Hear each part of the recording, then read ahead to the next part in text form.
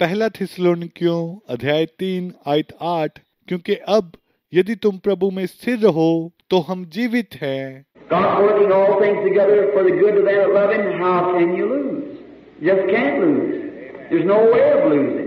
परमेश्वर उनके लिए सब बातें मिलाकर भलाई ही को उत्पन्न करता है जो लोग उससे प्रेम रखते हैं। और आप भला कैसे असफल हो सकते हैं? आप असफल नहीं हो सकते। किसी भी तरह असफल नहीं होंगे।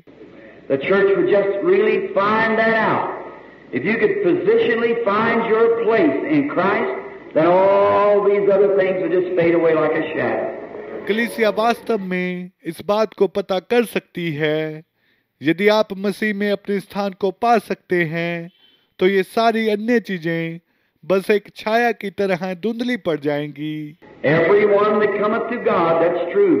Must uh, have their shadows and temptations and fears and so forth, but just don't get all tore up about it. हर एक जन जो परमेश्वर के पास आता है यह सच है उसके पास छाया और प्रलोभन और डर और इसी तरह से अन्य चीज़ें होनी ही हैं लेकिन बस उसके विषय में बहुत अधिक दुखित नहीं होना है For a little while, knowing that the glory of God will be revealed in the last days when Jesus comes, when we'll be made like unto Him? कुछ समय के लिए जरा सी तकलीफ़ सहना क्या है यह जानते हुए कि परमेश्वर की महिमा अंतिम दिनों में प्रकट हो जाएगी जब यीशु आएगा जब हम उसके समान बन जाएँगे He's just working everything together. Did you know maybe if you were sick, something happened to you, that God might have had to do that just to bring you a little closer to Him? वह बस सब कुछ एक साथ काम कर रहा है।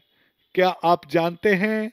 हो सकता है यदि आप बीमार हो या आपके साथ कुछ घटित हो तो परमेश्वर को, आपको अपने थोड़ा नज़दीक लाने के लिए ऐसा करना पड़ता है।